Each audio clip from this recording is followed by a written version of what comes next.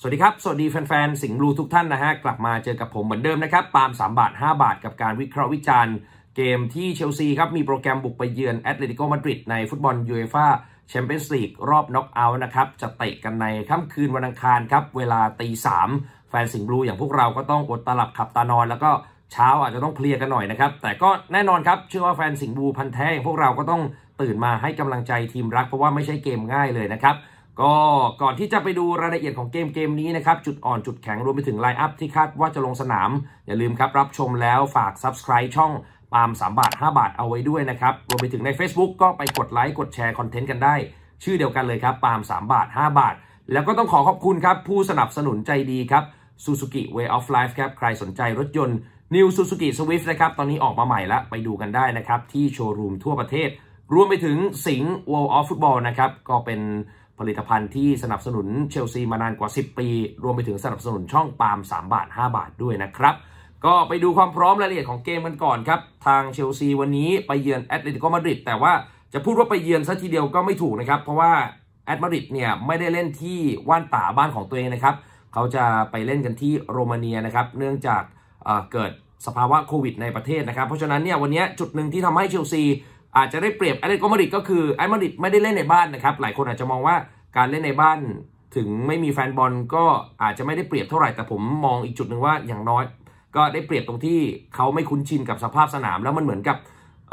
การมาเล่นสนามกลางซะมากกว่านะครับต่อให้ไม่มีแฟนบอลผมว่าจุดนี้เป็นจุดที่เชลซียังได้เปรียบแอตเลติโกมาดริดอยู่ดีนะครับไปดูสภาพความพร้อมกันก่อนครับเริ่มที่เจ้าถิ่นแอตเลติโกมาดริดเนี่ยเกมนัดล่าสุด แพ้เลบานเต้คาบ้านมา 0 ต่อ 2 และที่สำคัญคือสกอร์ที่แพ้นี่ไม่เท่าไหร่นะครับ แต่ว่าพวกเขาเสีย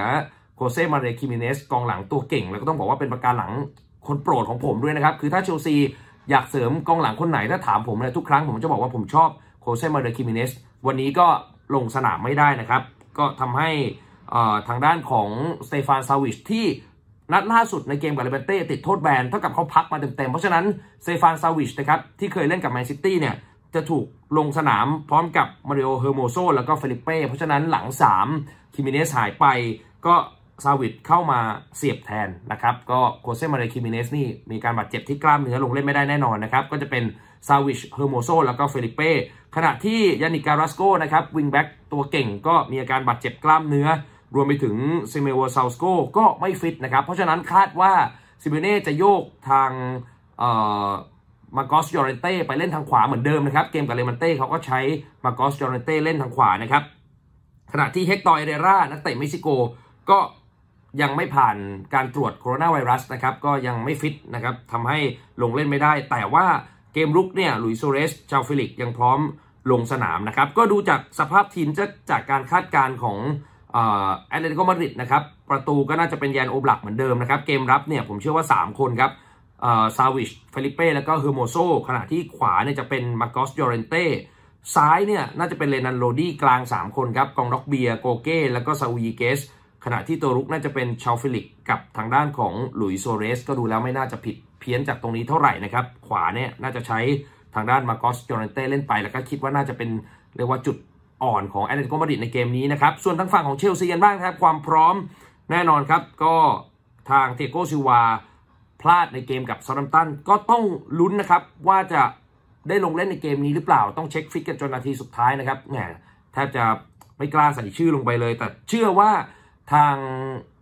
กุนซือโทมัส ทูเคิลน่าจะเข็นลงนะครับ เพราะฉะนั้นผมเลยคิดว่าหลังน่าจะเป็นอัซปิลิอัซปิลิกวยต้านะครับเตโกซูวาแล้วก็รูดิเกอร์คิดว่าน่าจะได้เล่น ขณะที่ฮาแวร์ตซ์กับพูลิซิชเนี่ยก็ไม่ได้อาจจะไม่ได้ลงสนามความฟิตไม่พร้อมนะครับ แต่ เขาบอกว่าทั้งสองคนเนี่ยเดินทางไปด้วยนะครับ ส่วนแทมมี่ อับราฮัมก็พร้อมใช้งานครับ ถึงแม้ว่าจะมีการบาดเจ็บที่ข้อเท้านะครับ แล้วก็เล่นไม่ดีในเกมกับเซาแธมป์ตัน แต่เชื่อว่าน่าจะมีเขาเรียกว่ามีส่วนร่วมกับเกมเกมนี้นะครับ แต่ต้องดูว่าจะเปลี่ยนไปใช้โอลิเวชิรูหรือเปล่า ที่เหลือเนี่ยผมว่าก็ไม่น่ามีปัญหานะครับติโมแวร์เนอร์เมสันเมาท์ก็น่าจะได้เล่นนะเอ็นโกโลกองเต้ก็อาจจะต้องเรียกว่าถอยไปเป็นตัวสำรองหรือเปล่า อาจจะใช้โควาซิชกับทางด้านจอร์จินโย นะครับหรือจะต้องดูว่าเกมแบบเนี้ย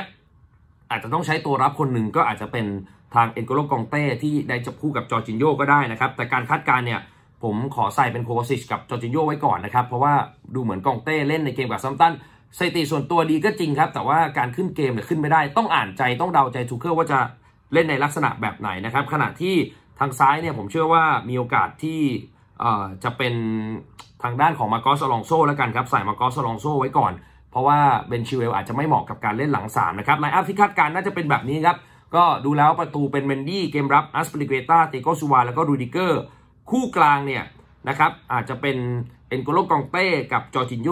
ถ้าเป็นแบบนี้เนี่ยแสดงว่าทูเคิลน่าจะใช้การตัดเกมของ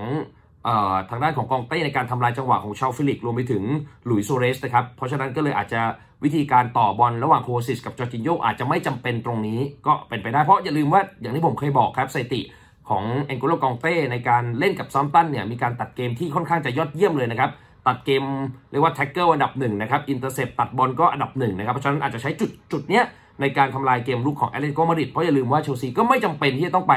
ชนะทางแอตเลติโกมาดริดได้นะครับ ตรงนี้ผมเลยมองว่าเป็นไปได้ว่าจอร์จินโยกับกองเต้วิงแบ็กซ้ายขวาเป็น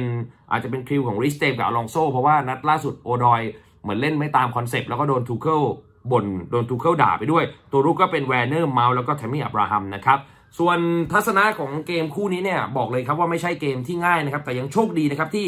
1 เลยโฆเซมาเรียฆิเมเนซกองหลังตัวเก่งเขาเจ็บนะครับอีกจุดหนึ่งก็คือการไม่ได้เล่นที่วานด้านะครับผมยังบอกว่ามีผลชัดเจน เพราะฉะนั้นถ้าถามว่ามีโอกาสที่จะลุ้นเซอร์ไพรส์ ในเกมนัดแรกกับผลเสมอเนี่ยผมว่ามีความเป็นไปได้ แต่อย่าลืมครับว่าแอตเลติโกมาดริดของดิเอโก้ซิเมโอเน่เป็นทีมที่ต้องบอกว่า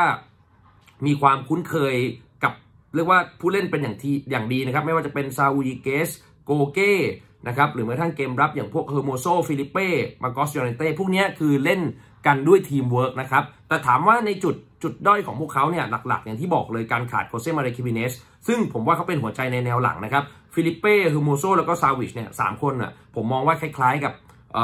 คริสเตนเซนรูดิเกอร์แล้วก็ซูมาคือ 3 คนเนี่ยช่วยกันเล่น แต่ถามว่าความเหนียวแน่นนี่ไม่ต้องไปพูดถึงนะครับ ทางฝ่ายแอตเลติโกมาดริดฝั่งนู้นหลัง 3 นี่เหนียวแน่นกว่า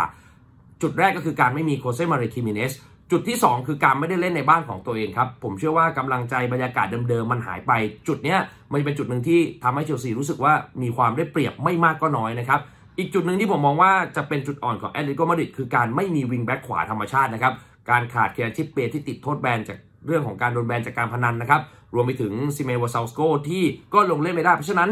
การขึ้นเกมของมาร์กอสยอเรนเต้อาจจะดูไม่เป็นธรรมชาติ เพราะฉะนั้นผมยังย้ำเหมือนเดิมครับว่าถ้าเชลซีจะเจาะแอตเลติโกมาดริดเนี่ยผมว่าเลือกเจาะทางมาร์กอสยอเรนเต้การรับมือกับติโมแวร์เนอร์หรือการรับมือกับมาร์กอสอลอนโซผมว่ามาร์กอสยอเรนเต้จะลำบากนะครับเนื่องจากเขาไม่ใช่ ผู้เล่นที่เป็น defender โดยธรรมชาตินะครับ ตรงนี้ผมจะมองว่าดูแล้วน่าถ้าให้เลือกเจาะนะครับ ผมว่าไปเลือกเจาะทางริมเส้นซ้ายขวา เพราะตรงกลางเนี่ยเขามีทั้งซาอูลนิเกซแม้กระทั่งเจฟฟรีย์กงด็อกเบียตรงนี้ผมว่าเอ็นโกโลกองเต้จะรับมืออยู่นะครับ แล้วก็จอร์จินโยจะเล่นได้ ถึงต่อให้ใช้กองเต้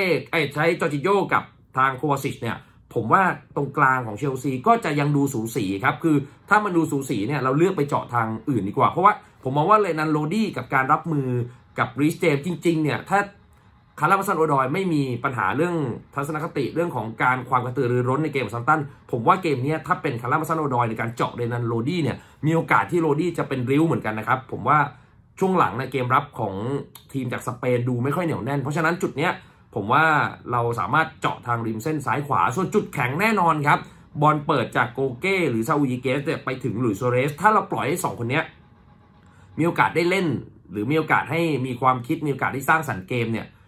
เป็นไปได้กันครับว่าหลุยส์ซัวเรซอาจจะมีสกอร์ในเกมเกมนี้หลุยส์ซัวเรซคือตัวที่อันตรายที่สุดตอนนี้ในลาลีกาสเปนก็เป็นดาวซัลโวนะครับ 16 ประตู คือหลุยส์ซัวเรซเป็นกองหน้าประเภทยุกยิกยุกยิกอะใช้คำนั้นนะครับป่วนไปทางนั้นทีทางนี้ที ถ้าเรียกว่าเผลอเลยหรือว่าเกมรับเราไม่มีติอาโก้ซิลวาในการคุมแผงแนวรับเนี่ยรับรองครับว่าคริสเตนเซนกับรูดิเกอร์ไม่ทันแน่นะครับเขาเป็นประเภทกองหน้าที่ ถ้าถ้าในมุมในการเล่นกองหลังคือ เป็นกองหน้าที่น่ารำคาญครับไปโผล่ตรงนั้นทีตรงนี้ทีเราจับไม่อยู่ จุดหนึ่งก็คือเนี่ยแหละครับความอันตรายของโซเรส พยายามอยากให้โซเรส ถ้าพูดภาษาฟุตบอลคืออยากออกจอบ่อยๆครับตัดแกออกจากเกมไม่ได้ ซึ่งก่อนหน้านี้เราเคยทำได้แล้วครับกองหน้าในลักษณะแบบนี้เราตัดเข้าจากเกมด้วยการที่ไม่ให้มิดฟิลด์เขามีบทบาท เพราะฉะนั้นคนหนึ่งที่เชลซีจะต้องระวังมากที่สุดก็คือซาอูยิเกสครับผมว่าตัวนี้จะเป็นตัวที่จะคอยขึ้นเกมบัญชาการเกม ลักษณะ ผมว่าคล้ายๆกับ หลายๆ ทีมที่มีกองหน้าอย่างพวกอย่างซนฮึงมินกับทางด้านของแฮร์รี่เคนเพราะถ้าดูเนี่ยสเปอร์ก็จะขึ้นเกมจากปิแอร์เอมิลฮอยเบิร์กเพราะฉะนั้นวิธีการก็คืออย่าให้ซัวเรซได้บอลหรือได้ sprint หรืออย่าให้มีช่องว่างจำได้ไหมฮะเราเคยโดนซัวเรซยิงตอนอยู่กับบาร์เซโลนาจุดหนึ่งที่ซัวเรซเป็นจุดเด่นก็คือเรื่องของการเคลื่อนที่ เพราะฉะนั้นถ้าเราไม่ให้เขาเคลื่อนที่หาบอลคือเขาเคลื่อนที่เพื่อพยายามหาช่องให้เพื่อนเปิดให้ สิ่งเดียวที่ทำได้คือการ ตัดตั้งแต่เรียกว่าต้นลมก็คือตัดตั้งแต่คนที่เปิดเกมนั่นแหละครับ คือต่อให้หลุยโซเรสวิ่งสายอยู่ด้านหน้านะครับ แต่ว่าบอลน่ะไม่ถึงตรงกลาง ถ้าบอลมันไม่ถึงตรงกลางหรือตรงกลางออกบอลไม่ได้ ผมว่าหลุยโซเรสก็เรียกว่าพิษสงอาจจะลดลงไป แต่ว่าความอันตรายของเขาก็คืออย่างที่บอกครับ ประตูถ้าเขาจะยิงเชลซีได้เนี่ยเกิดจากความยุกยิกจากความสายในเขตโทษ ส่วนเจา เฟลิกซ์อะผมว่าเป็นนักเตะที่น่ากลัวระดับหนึ่งครับ แต่เชื่อว่าด้วยความที่เขายังเป็น ผู้เล่นระดับเยาวชนเนี่ยผมว่าความน่ากลัวจะสู้หลุยส์ ซัวเรสไม่ได้ ผมให้ความสำคัญกับการ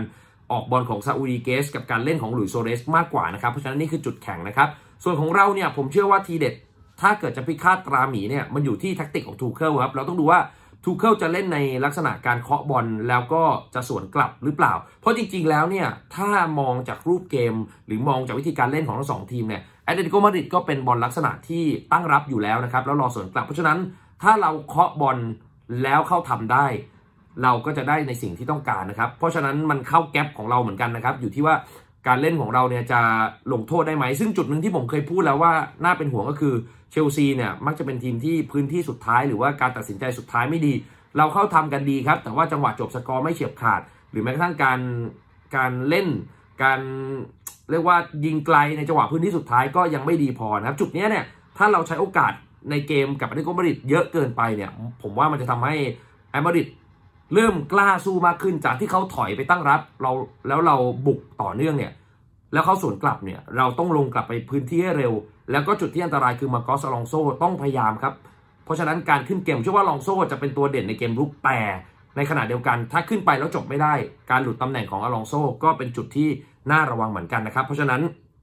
เกมนี้มันจะเป็นเกมที่วัดกลิ่นของคุณเสื่ออย่างชัดเจน ต้องดูว่าทูเคิลจะมากล้าแลกขนาดไหน แล้วจริงๆแล้วเนี่ยผมก็มองว่าไม่จำเป็นเลยนะครับที่เชลซีจะต้องไปแลกเพื่อที่จะเก็บชัยชนะให้ได้นะครับอีกจุดหนึ่งเนี่ยผมมองต่างกับการจัดตัวของ Sports Mole นะครับ Sports Mole เนี่ยเขาใช้แทมมี่ อับราฮัมจริง ๆ แล้วเกมแบบนี้ผมอยากให้ใช้โอเลชิรูมากกว่า เพราะว่าจังหวะสุดท้ายเนี่ยถ้าเชลซีบุกขึ้นไปแล้วไม่ได้เนี่ยกองหน้าอย่างชิรูคือเป็นกองหน้าที่มีความสำคัญตรงที่เขาเป็นประเภทกองหน้าที่ทับอินได้ดี แล้วก็ลงโทษได้อย่างยอดเยี่ยม คือไม่ว่าบอลจะอยู่ตรงไหนเนี่ยภาษากายหรือว่าบอดี้แลงเกจของเขาเนี่ยสามารถที่จะทำประตูได้ในทุกรูปแบบ เพราะฉะนั้นการเจอกับแอตเลติโกมาดริดที่หลังเหนียวแบบนี้โอกาสที่มีไม่เยอะควรจะใช้กองหน้าอย่างโอลิเวชิรูนะครับ ผมไม่แน่ใจว่าทาง Sports Mole ทำไมถึงออกมาเป็นลักษณะแบบนี้ จริงๆ ผมมองว่าชิรูด์จะเหมาะกับเกมเกมนี้มากมากกว่านะครับ อาจจะเกมนี้เชลซีมีโอกาสแค่ 2 ครั้งหรือ 3 ครั้งแต่ชิรูด์อะผมเชื่อว่าเขาสามารถเปลี่ยนเป็นประตูได้ด้วยลูกประสบการณ์ แล้วการที่เอาชิรูด์ไปดันไปกระแทกกับเอร์โมโซกับเฟลิเป้ผมว่าน่าจะเป็นสิ่งที่ดีกว่านะครับ ส่วนอาวุธหลักอย่างที่บอกครับ ผมว่าการขึ้นเกมจากติโม แวร์เนอร์ริมเส้น รวมไปถึงช่วงหลังเกมรับของสเปนเนี่ยมีหลายคนที่ดูคอมเมนต์ดูคลิปผมแล้วคอมเมนต์กันมานะครับบอกว่าเฮ้ยเกมรับสเปนช่วงหลังมีปัญหาเรื่องความเร็วเออผมก็สังเกตเหมือนกันนะครับว่าจะเป็นมาดริดบาร์ซ่าแอตเลติโกมาดริดก็ดีเนี่ยผมเชื่อว่าถ้าจี้ด้วยความเร็วเนี่ย ไม่ว่าจะเป็นติโมแวร์เนอร์นะครับมาร์กอสอลองโซก็ดี หรือกระทั่งเมสันเมาท์ผมเชื่อว่าเชลซีมีโอกาสได้ผลการแข่งขันที่ดีครับ แต่ว่าเกมนี้ถ้าให้ผมฟันธงลงสกอร์ครับไม่ใช่เกมที่ง่ายสำหรับเชลซีและผมว่าทูเคิลจะระวังทางหลุยส์ ซัวเรสมากๆ รวมไปถึงระวังแอตเลติโกมาดริดซึ่งผมมองนะครับว่าตามตรงว่าโอกาสที่เอาหลุยส์ ซัวเรสอยู่เนี่ยถ้าถามว่า 5 ครั้งเนี่ยโอกาสเอาอยู่ ผมเชื่อว่าแค่ 2 ครั้ง กองหน้าตัวนี้เป็นกองหน้าที่ดีจริง ๆ ครับ ตั้งแต่ลิเวอร์พูลแล้วมาอยู่บาร์ซ่าเพราะฉะนั้นผมมองว่าเชลซีจะเอาไม่อยู่สุดท้ายผลการแข่งขันอาจจะไม่ได้ถูกใจแฟนเชลซีครับผมว่าโอกาสออกเสมอมีสูง แต่ถ้าเลือกผู้ชนะ ผมกลับมองไปที่แอตเลติโกมาดริดนะครับเขาจะกำชัยชนะได้ในเกมแรก ไม่เป็นไรครับ เราไปเล่นในบ้านเราไปเล่นผลการแข่งขันนัดที่ 2 ได้ คู่นี้มีโอกาสออกเสมอศูนย์หรือหนึ่งนะครับโอกาสออกเสมอสูง แต่ถ้าเลือกผู้ชนะอย่างที่บอกแอตมาดริดมีโอกาสเฉือนเราได้1-0หรือ2-1 เพราะฉะนั้นการที่โดนแอตเลติโกมาดริดยิงเนี่ย แฟนเชลซีอย่าเพิ่งไปกังวลนะครับ เพราะว่าเกมมันเล่น 2 leg นะครับ แล้วที่สำคัญคือผมเชื่อว่าแอตเลติโกมาดริดเนี่ยต่อให้จบ 0-0 เนี่ยเขามาเล่นที่ The Bridge เขาก็ไม่กลัวเราครับ ผมเชื่อว่าเขาจบหนึ่งหนึ่งเขาเข้ารอบนะครับ เพราะฉะนั้นผลการแข่งขันนัดเนี้ยผมว่าเราเล่นกันแบบตามทรงเล่นให้ฟอร์มให้ดีไว้ก่อน การไม่แพ้เยอะหรือการแพ้ต่อให้แพ้ 2-1เนี่ยการได้เวโกเนี่ยผมว่าสำคัญการผมว่าการแพ้ 2-1เนี่ยกับการเสมอ 0-0น่ะ0-0 นี่ยากกว่านะครับ ผมเชื่อว่าแอตเลติโกมาดริดมาเยือนที่เดอะบริดจ์เนี่ย เขาจะทำประตูเราได้ เพราะฉะนั้นผมว่าถ้าจบเนี่ยจบ 2-1 แพ้ยังดีกว่าจบ 0-0 นะครับ อะ นี่คือทัศนะของผมนะครับ ในการมองเกมที่เชลซีไปเยือนแอตเลติโกมาดริดแต่อย่าลืมนะครับว่ามันไม่ได้เล่นที่วันด้านะครับ เพราะฉะนั้นเกมเกมนี้จะเป็นผลการแข่งขันที่ดีสำหรับเราก็ได้ ส่วนเพื่อนๆครับ มองเกมทัศนะคู่นี้ว่าอย่างไรกันบ้าง ก็ลองคอมเมนต์มาใต้นี้ได้ ตัวที่อันตรายของแอตเลติโกมาดริดจะเป็นตัวไหนหรือทัศนะของคุณผู้ชมเป็นอย่างไรก็ลองคอมเมนต์มาได้นะครับ แล้วก็ ขอบคุณด้วยครับ ผู้สนับสนุนใจดีครับ Suzuki Way of Life รวมไปถึงสิงห์ World of Football ส่วนใครที่ยังไม่ได้ Subscribe ช่องปาล์ม3บาท 5 บาท ก็ฝาก Subscribe กันด้วยจะได้ติดตามคอนเทนต์ดีๆ วันนี้ขอบคุณนะครับ แล้วเดี๋ยวมาเจอกันอีกทีก็คือหลังเกมในสิงห์บลูคาเฟ่วันพุธ4ทุ่มครึ่ง เจอกันใหม่ในโอกาสหน้าขอบคุณทุกการติดตามครับ สวัสดีครับ